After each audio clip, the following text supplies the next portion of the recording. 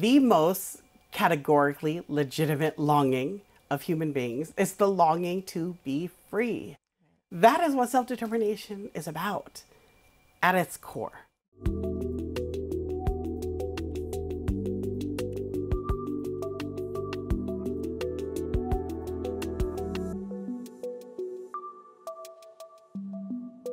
Aloha mai kako.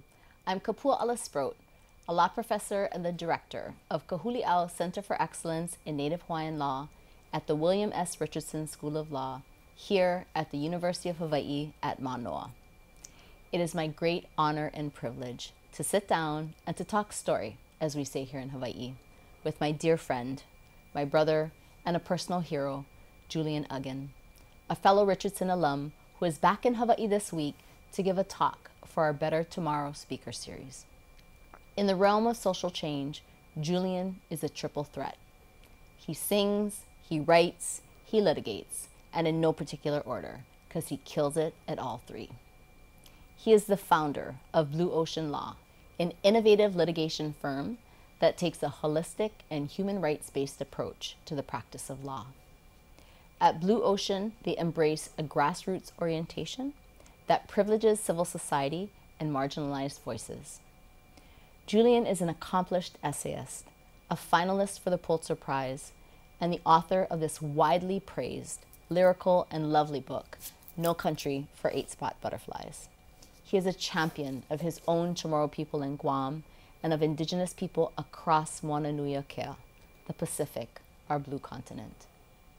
He is a sensation and an inspiration and it is an honor to have him here with us today.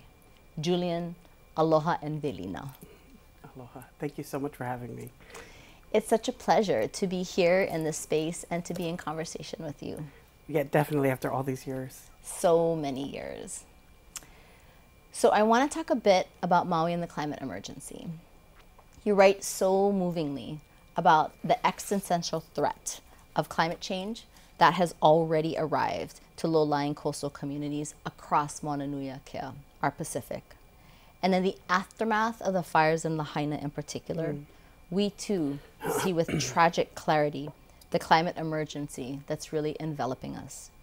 And honestly, with little hopes of escape or survival. So you use words to fight and heal, Julian. But what words do you have for us this evening? The first two that come to mind are community and solidarity. I, I just think I think the first thing that we have to do in sort of our various engagements with the climate crisis is essentially to stop functioning as individuals you know, neoliberalism, as they say, has conned us all into thinking we can combat climate change as individuals, That's as right. atomized individuals, and we simply cannot do that. Mm-hmm. We have to do it in community with each other. I mean, and that is exactly what I saw in the aftermath of the fires at Lahaina. I saw so many people come out. I mean, both in Maui, but everywhere throughout mm-hmm. Kauai, up through Guam. I participated participated myself in like a books for Maui event that like a small collective of I think mostly Pacific Pacifica women sort of rallied around, and there were so many events like that. That gives me hope. Um, the sort of the togetherness of it mm-hmm. all, the mm-hmm. solidarity of that, and just putting it into practice and realizing that solidarity is a verb. You know, it is action, um, and that just locking arms with each other. Mm-hmm. And sort of being in it together is the only way to effectively engage the climate crisis. I totally agree with you. Um, and in many ways, even though we're so far apart, mm-hmm. I feel like in the work that each of us do, we're locking arms um, with respect to the climate issue and so many other sure. things. So, words and stories matter so much to both of us. And you write about their importance to movements for social change. Mm. Why do successful movements need effective storytellers? Wow, this is such a great question. Um, social movements have always needed, you know, their writers mm-hmm. and their artists, their musicians. It's not just writers, but just artists in general, because artists, sort of more than any anyone else, they are capable of reminding us who we were, mm-hmm. who we are, and who we can still be. You know, they have a sort of real gift for operationalizing that you know a lot of the sort of hard ideas, the tough stuff. They have really com- tough conversations, and a lot of the conversations around the climate crisis are incredibly difficult to have. You know, like for example, I I'm going to talk a lot um, tomorrow night during the talk um, about sort of various communities throughout Oceania that are now faced with a very existential question. That is whether or not um, their version of adaptation to the adverse effects of climate change really includes mass relocation. Right. You know, and so for so many Pacific Island communities, that is not the case.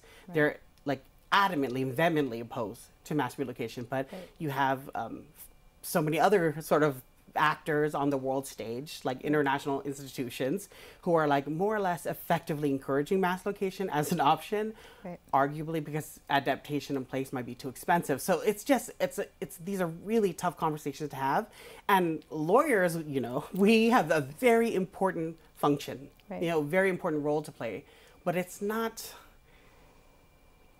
the occupation that has the most emancipatory vision, for sure. Artists do Right. have that vision. They see what we cannot. You know, Right. poets see what we cannot. You know, and they gift us the language with which to fight back. That is why I'm always in praise of activists and artists. Absolutely. I think they, you know, it's really these storytellers that help to inspire us. And I think exactly as you said, help us to remember not just who we were, but who we can be again, and perhaps who we must be in order to rise to meet this challenge. Um, what story can you share with us this evening that will help us to rise to meet the demands of this historical moment? wow, these questions are big.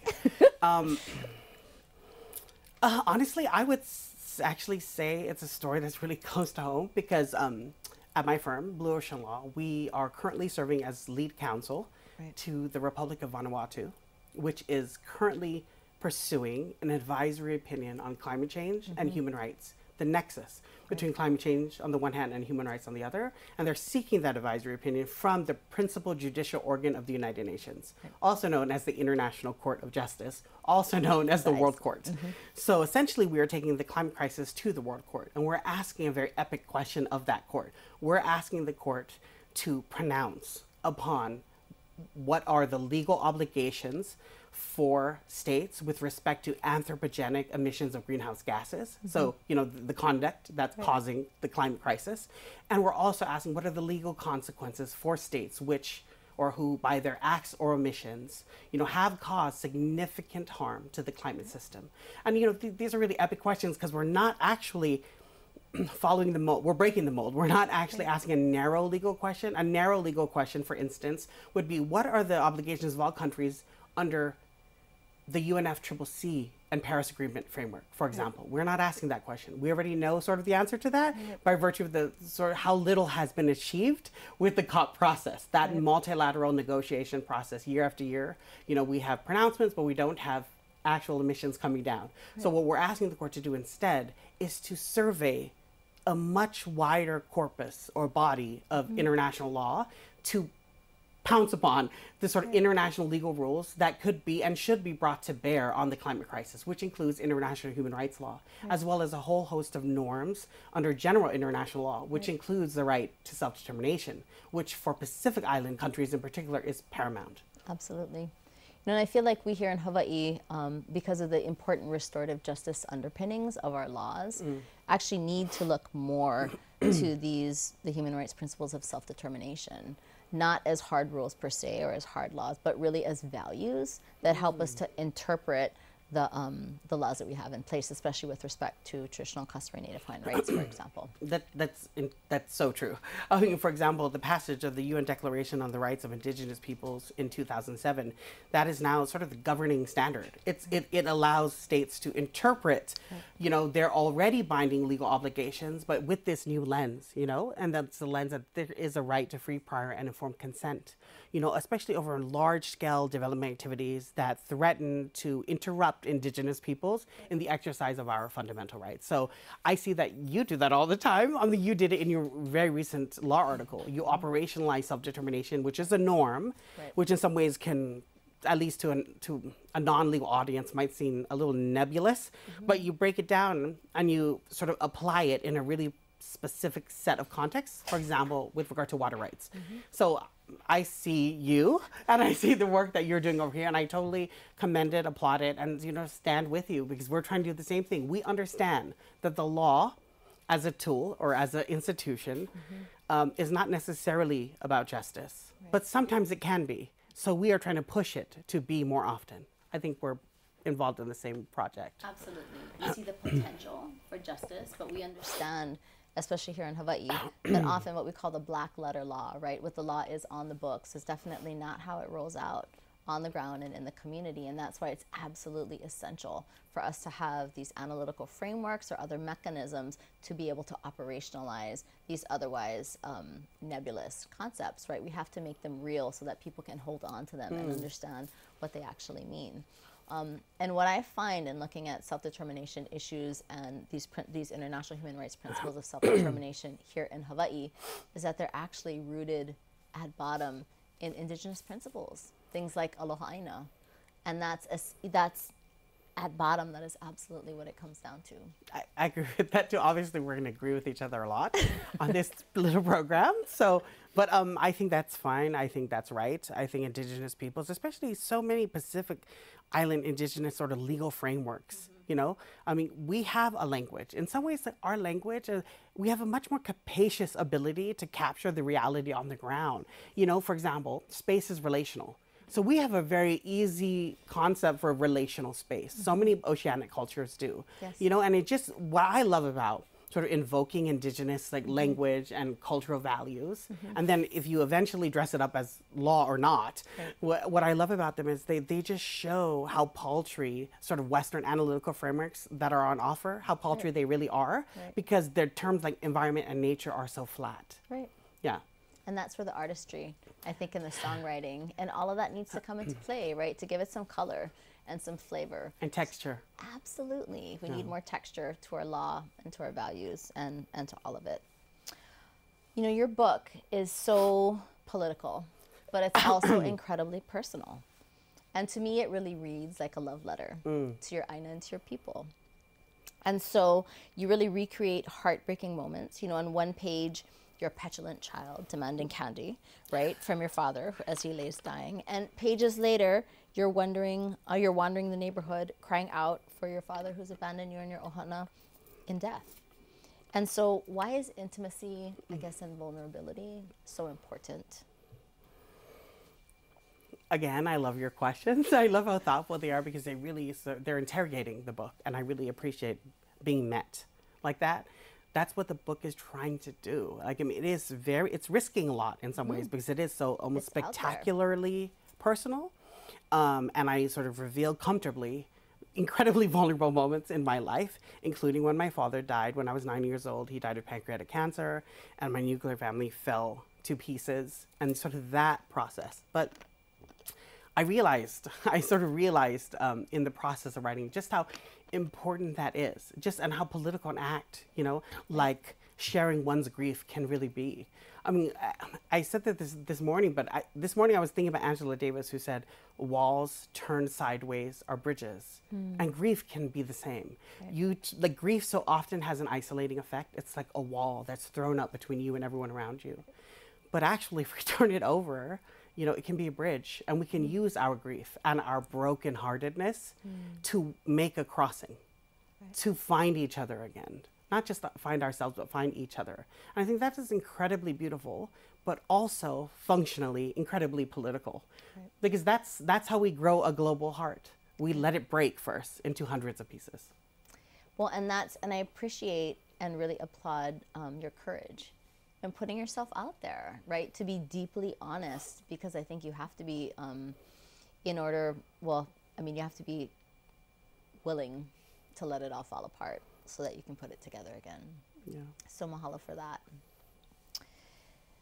I want to talk a little bit of, about your time here in Hawaii. I wanted to focus on the book, but I feel like um, I feel like with this book and your earlier books as well, that I see pieces of that from your time here in Hawaii. So you were a student here with us at the University of Hawaii at Manoa, and um, how would your time with us at Richardson and with Ka Huli Ao in particular, I would say, prepare you for the work that you're doing today? So advocacy, Yeah. litigation, art, all, all of it, all of it. Ka Huli Ao was like a really sort of formative place, you know? It was like a home for activist students, like activist lawyers or would be activist lawyers. Um, speaking of teachers, you were one of them, you know, Susan, another. There's Linda Krieger, there's so many. but the reason why I appreciate, looking back especially, it's so acute for me. You know, what I, per- what I appreciate from Ka Huli Ao and that experience, it was just, it was clear that you understood what all activist lawyers need to understand to act, act effectively in the world. That is, that the law is always already a moving train. And as Howard Zinn would say, we cannot be neutral on those things. So that's it was useful. It was exceedingly practical. It was mm-hmm. concrete. Once I understood it, like it's like the lights went on, you know? Mm-hmm. And I understood that the law is limited. It's a limited tool, but it's still a tool. And on occasion it be it can be very powerful. So I was like, that's what I saw you all doing. You understand. I mean, you even your work at Earthjustice, like we all are who are social change lawyers. You know, we all sort of play in the sandbox and we understand that even the doctrinal limitations, we understand how the law has uh, developed sort of mischievously throughout mm-hmm. history. Like we, we understand all of that, yet we are still able to muster up the wherewithal and the sort of like meticulousness and the sort of like intellectual athleticism necessary to do a good job. Like we try to deploy law in service of vulnerable communities. That's what I'm. I've devoted Right. my entire practice to doing blue ocean law, and you know I see so many other activist groups and activist like entities that are doing the law in this very particular way, and I just see family. I mm-hmm. see us all engaged in the use and deployment of law in the same way for the same ends, and I can appreciate that. Absolutely, the community Yeah, that you mentioned exactly. earlier, It's definitely community. Ka Huli Ao was that for me in law school during my time at Richardson because you know the law school also attracts two types of people. On the one hand, it attracts um, people who wish to to use the law uh, primarily for the private accumulation of obscene amounts of wealth and power. And then there's the other kind of law student who goes to law to do what we're trying to do, which is to really use it in service of the vulnerable. yes. Yeah. Absolutely. And I feel like the social change, I mean, the transformative and restorative justice work that you do is so important. And I think it takes a different kind of approach, a different kind of lawyering. Um, and I'm excited about the potential and what I see happening, um, not just at Richardson, but in the work that you're doing, because I think in many ways you're emblematic of the potential that we have for our students who can do things differently, especially I think for Indigenous students, our students from marginalized communities who can turn the law, transform the law into the tool that they need it to be. Yeah. Not just the one that's handed to them. Oh yeah. And so, um, so thank you for that, Julian.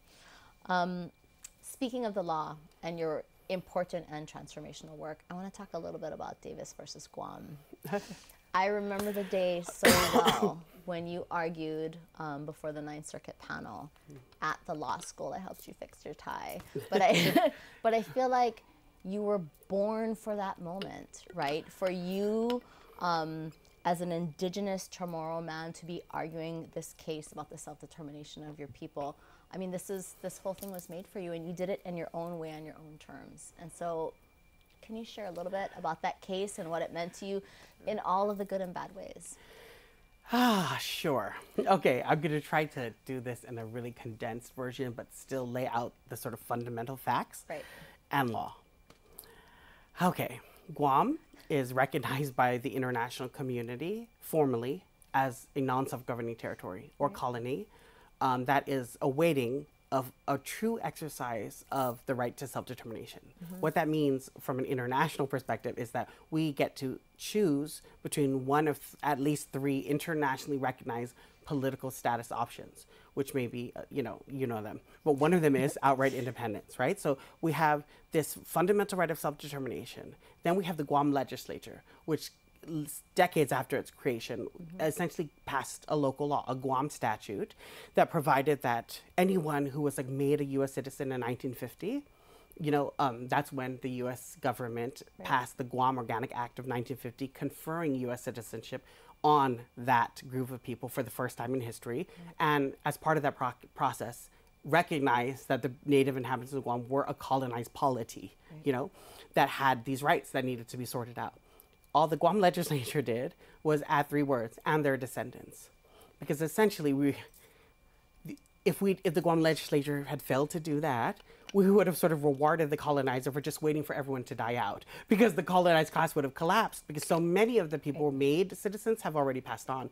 So we simply added a use of a descent category. So we use ancestry, right? So we add that and we said as long as you descend from someone who was colonized and recognized by the US Congress as such, you are entitled to these decolonization rights. One of them is you get to express your vote right. by way of a symbolic, and I mean purely symbolic, non binding political status plebiscite at which you would get to register your wishes mm-hmm. for your, your desired political future with the US.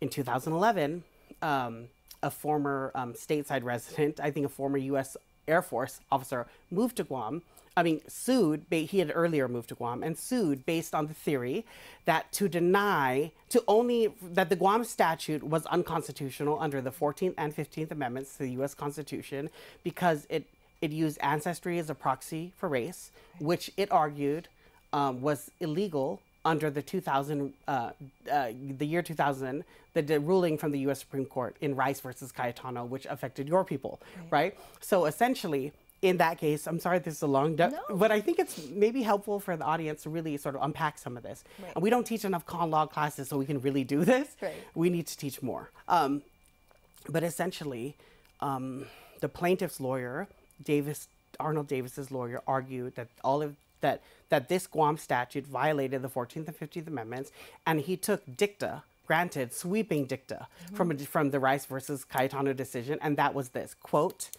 ancestry can be a proxy for race. And they said, just by virtue of having those three words and their descendants, just by virtue of that use of an ancestral classification, that itself is race. So essentially, he took the Rice versus Cayetano holding too far right. because the court didn't actually say that ancestry is race. It could have easily said A is B but it did not. It said right. A can be B sometimes right. if you deduce enough discriminatory intent. Mm-hmm. So that was the heart of the case, right? It was an intent case. And so under the 14th and 15th Amendments, and we argued the hell out of it for it was like almost 10 a decade of my life. I mean, ultimately, we did not we did not win, mm-hmm. um, and largely because the U.S. Uh, the Ninth Circuit mm-hmm. for felt compelled by the Rice versus Cayetano decision.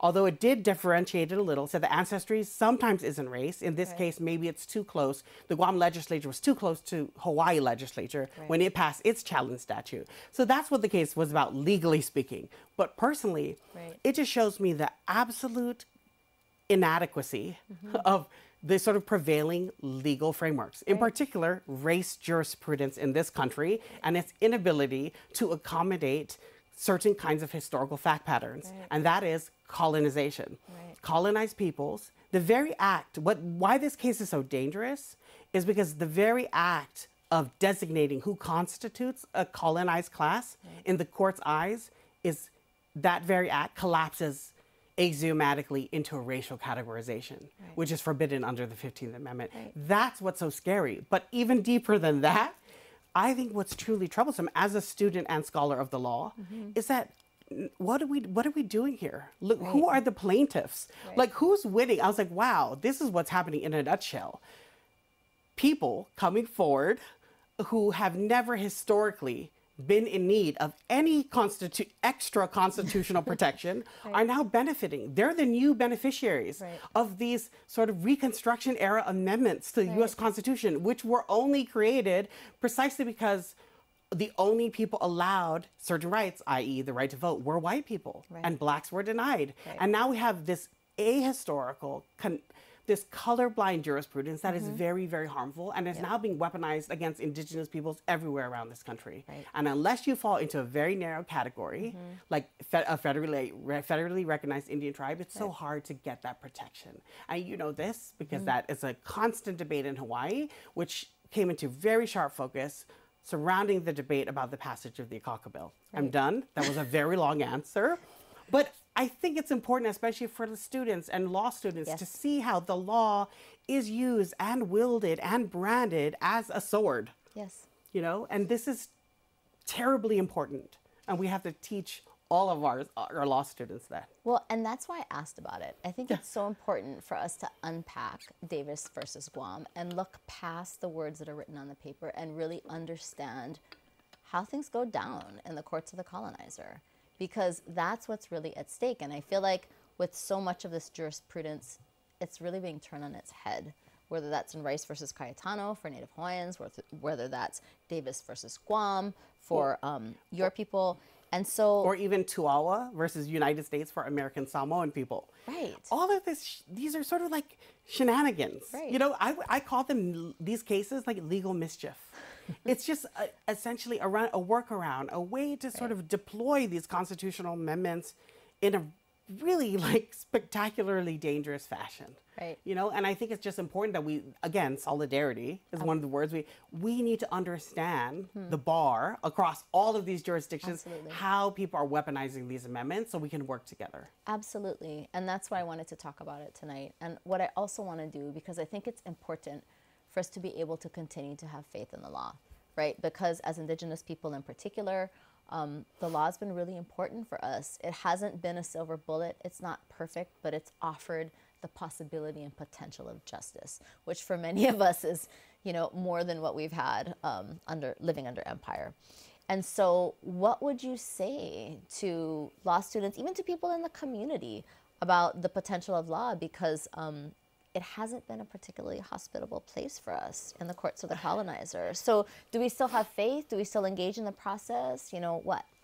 Oh, for sure. I mean, the answer is we still do it because it's like it's like a spatula. It's like like if you're making an omelet, you know, it's still a useful tool. Like it depends on like who's wielding it, you know, who's the hand of the cook, you know. Like this is what what I'm really saying is like the law in some ways needs to be almost like de-romanticized because right. it is just a tool one set of skills right. and one particular kind of vocabulary that can be called upon to fight for justice. It can and it is every day right. by so many entities. You know, like we like we last week. I, you don't know this because it's not really public. We didn't come out with a press release, but last week our firm partnered with the ACLU mm-hmm. of Puerto Rico and the Center for Constitutional Rights, mm-hmm. filed a joint submission, a shadow report under the International Covenant on Civil and Political Rights. Mm-hmm. So essentially, we are approaching the Human Rights Committee, right. really alleging and detailing the ways in which the U.S. government continues to deny the right to self determination in both Puerto Rico and Guam. Right. But just because we believe in it. Because like even if it's limited, it's right. still really,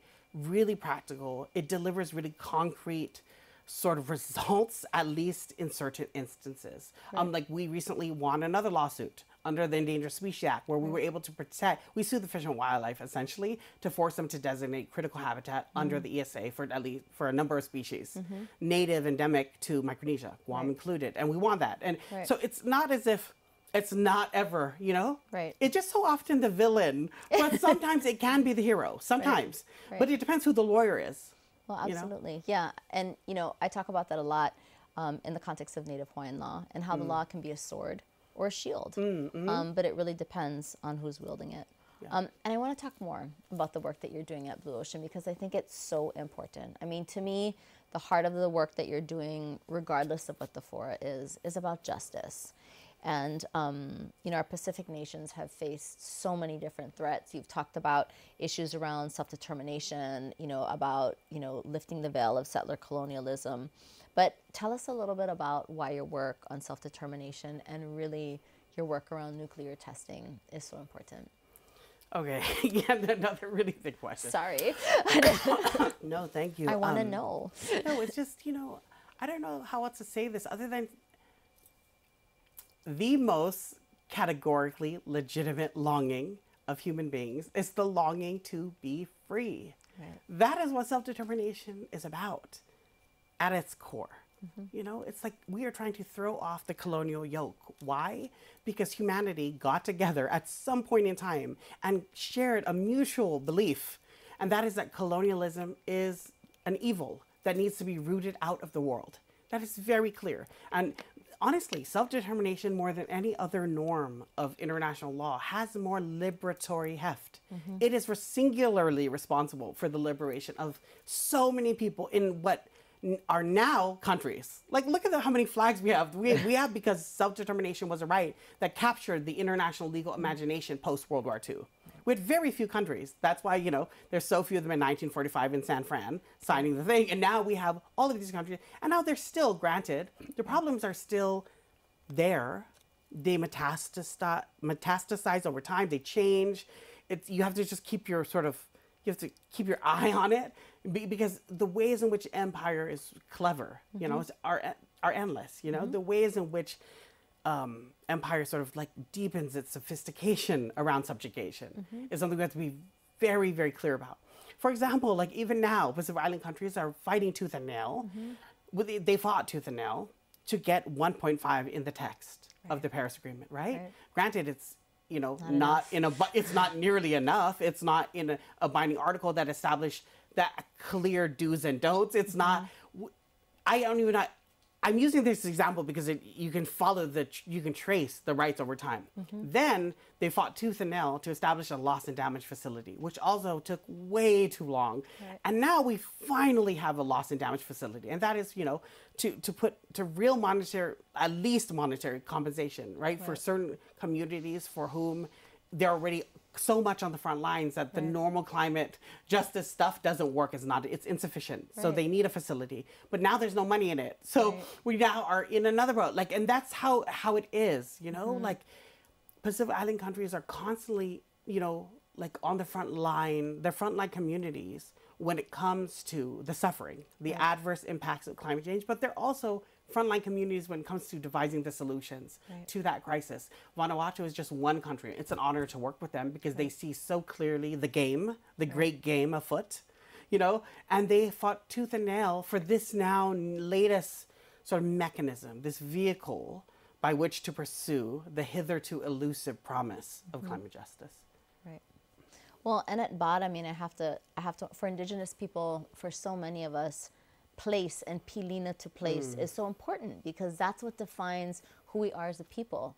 And so we need, and I, I think it's difficult for people to understand why you can't just move or why adaptation, right? Yeah, oh, for because sure. you know, there's it's difficult to be Kanaka anywhere else besides Hawaii because your practices, your life ways are defined by this place. Exactly. And because we're not satisfied with purely symbolic culture. Right. We can't practice our culture like it is an in situ practice. Right. You know, it is place based. We have ecologically derived customs and languages. Right. You know, like like one of the most compelling stories that I came across in writing my essay to hell with drowning Mm-hmm. was the fact that this one village in Fiji was forced to relocate due to, you know, um, the inundation brought on by climate change. They were forced to relocate to inland and to higher ground, but they had to leave their dead behind, and they had to go through the rupture of that of leave, of leaving, and so many elderly, especially, felt sick to their stomach about that because they have a duty to their ancestors, take care of their graves, etc. But also, they were it's, it's it's like what you're saying. It's it's when I say place, but we mean in a visceral sense. Right. And the best way, I think, arguably, to understand that is by way of umbilical cords. placenta. Absolutely. We Yeah. so many Pacific people bury their umbilical cords Yes. into the ground. Is in the earth that that direct visceral connection. Mm-hmm. You know, this is why. And, and like in Fiji, for example, Vanuatu, the the same Mm-hmm. word that means land means people. It's like it's a crazy inseparable thing indigenous people from the lands that they live on and that they love you know and to be the rupture of having to prepare to be to lose that all Right. you know like tuvalu is like a terrifying example right now Mm-hmm. because now there's talk about creating a digital nation of like the Oh, gosh. first nation to like have a whole like 3d like online digital rendering i don't even know the point is nobody knows Right. these are like nobody knows and we can't know but that i mean there are things that we do know and that is you cannot recreate an ethos a worldview and it's a particular worldview that's been reared on a particular piece of soil of Right. this earth Right. you know and that is singular and unduplicated and we cannot recreate it in a digital world there's enough to know that that project is not one that will work Right. you know and we know that you know and, and that's why we feel so deeply because we love so deeply and that's mm-hmm. why so many people in frontline communities think we will not be moved Right. they're saying that they're holding on that some islands like they, they refuse i mean some Yeah. communities are already like no stop talking to us we will go down with this ship Right. and it's like a very hardcore ride or die love to the very end thing and but some of us are in that boat and I get it. yeah I get it. I mean, because right, our, our connection for us, it's family. It goes much deeper than that. I mean, to to talk about the piko, the umbilical cord, mm-hmm. it's what tethers us and help us find our place in this universe. Yeah. And so, where else can we be? Yeah. You know, in that way, we're not really unlike turtles or right. unlike all these other incredible, other than human species, you know, who know where home is, right. and they can geolocate their way there. You know, like we are, we are just sort of not so different. Like we have this primal longing for home, and we're always like home going. Mm-hmm. You know, so to be asked to leave, especially by arrogant international financial like institutions who have no right. sense of place it's, yeah. These are mutually irreconcilable differences.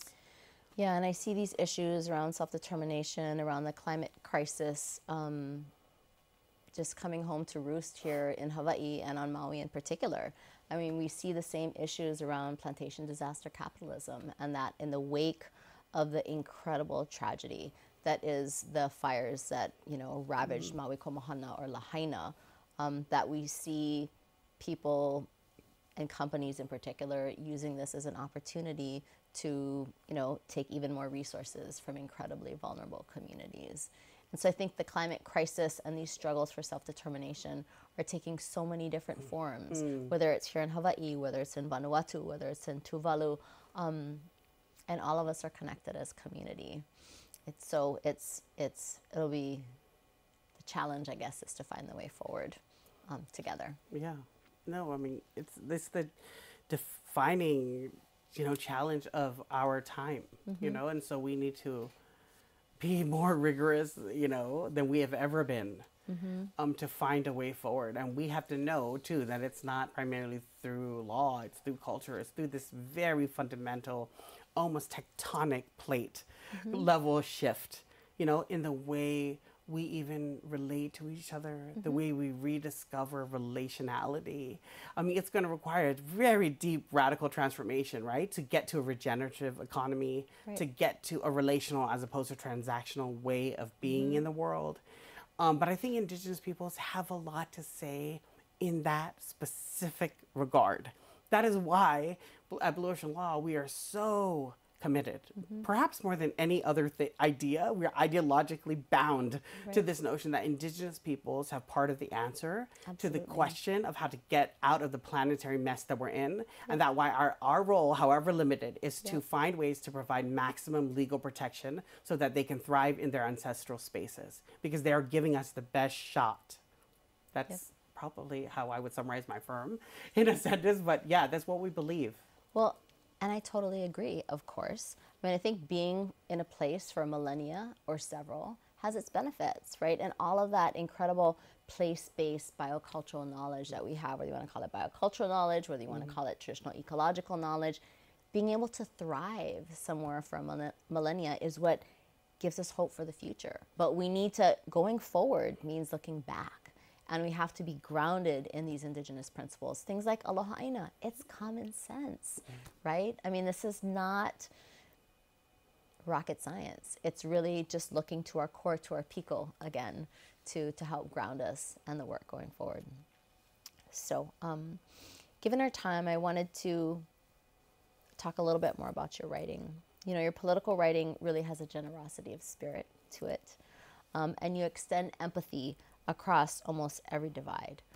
Um, and so I'm curious how this style reflects on your own um, perception of the role of anger kind of in social movements and whatever you want to mm. call it, you know, being fierce, anger, what have you. Um, but do you think that that passion, if we call it that, in anti-colonial movements has a role? Oh, absolutely. Oh my God, without question. I mean, Haunani-Kay.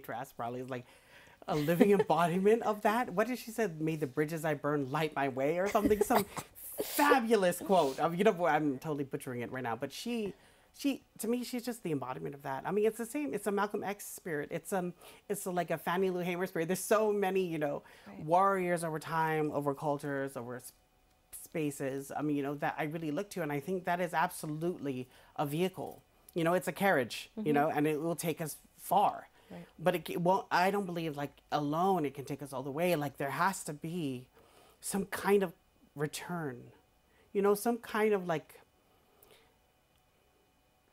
I don't know how to say this other than even when I do my work, whether it's law or mm-hmm. whether I'm like going so squarely and fiercely against an adversary, like there's a part of me that understands that like mm-hmm. I have other in- work to do, and that work is interior. Mm-hmm. I have to find a way to keep my heart from hardening, because we need each other. Like I'm not interested in a future without people in it. Like we can't just cancel each other to death. Like I mean, you know, we have to find like I don't like I think it was Adrienne Maree Brown, right? She said like yes, call people out for clear things, but also call people in. You know, like how do we do that? And I try to think the book is like that. I mean, in some ways, I'll, I'll describe it like this: the difference of the types of writing I do. As a lawyer, uh, the kind the how I understand language is cultivating the cold precision of an assassin's bullet. You know, that's what Arundhati Roy, how she would say it, Arundhati Roy. But when you're writing as a writer, you're trying to build a fire. Hmm. You're trying to warm up as many bodies as possible. That is entirely different as an hmm. enterprise because it is deeply and radically loving, Right. present, open-hearted you know and that is hard work to do but i believe that that work has to be done too or we're not going to get where we think we're going or hope to go Right. yeah And I guess what I would ask also is the work is hard. I mean, look at what you do. Um, look at what we all do justice work, movement work. It's incredibly hard. And so, what would you say to all of those little brown girls and little brown boys out there, right, who need hope to keep mm-hmm. going? What would you say to light their fire? god so many it depends on which group of young people but for like young um like indigenous like pacific islanders i would just be like for micronesians my own people in particular you know like take faith in something Epeli Hauʻofa said, you know, that mm-hmm. smallness is a state of mind, hmm. that you are so much more powerful than you believe, than you have been taught to believe. You know, like we traversed incredible amounts of oceanic space, you know, because we memorized everything. We committed to memory, Right. like the almost like i- impossibly vast knowledge systems of sea swells and stars and all of that. We come from such a rich intellectual even tradition, you know, of of being sort of in the community with all of that life, you know, to be able to make to pull something like that off, the sheer scale of mm-hmm. wayfinding, you know, like uh, so that's what I would encourage them to do to draw from that well, you know, to like figure like look inward and see what like sort of values are embedded in these like sort of cultural teachings and sort of cultural protocols of what values are embedded there. And use as much take as much as you can Right. from the old and bring it into the new. And also to understand that the, we are facing new problems. Right. And they are going to require new solutions. So everything we have we can bring the best of our insights forward mm-hmm. and they will still be insufficient. Because now with this globalized, globalized community is globalized. Right. we live in the world as it actually is not as we wish it to be. Meaning we're going to have to learn how to work with others.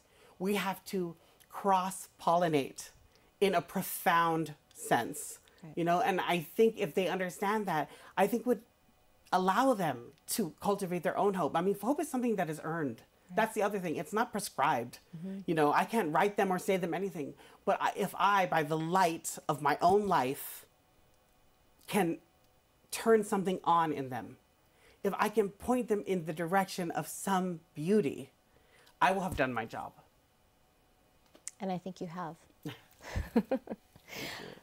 In your book, you include a poem about a rugged flower native to Guam that mm. flourishes in the most unlikely and difficult circumstances. Um, might you spill a little bit of tea on it, or perhaps Sure, read I'll, it for I'll- us? maybe I'll just read it. It's just so short. It's it's like ridiculously short, but it's one of my favorite entries in the book, actually. Okay. and mine. Okay. Um, Gausali is the name of the flower and the name of this poem. Um, and in the footnote, it reads Gausali is dedicated to Judy Wampat, who tried to change the official flower of Guam from the invasive bougainvillea to the native Gausali and was mocked for it.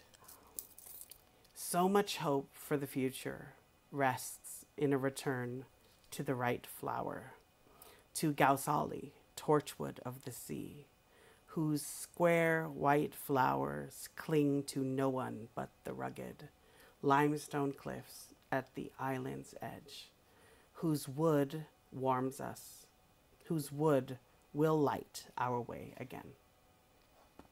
Thank you, Thank you. Julian. Any closing or thoughts?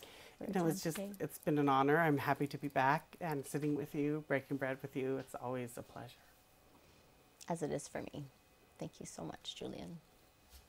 Mahalo piha for being with us today, Julian. I'm grateful for your work, your commitment, your spirit, your bravery, and for your holding space and being a role model for all the little brown girls and little brown boys to see what's possible. I also want to mahalo our sponsors who helped to make Julian's visit possible.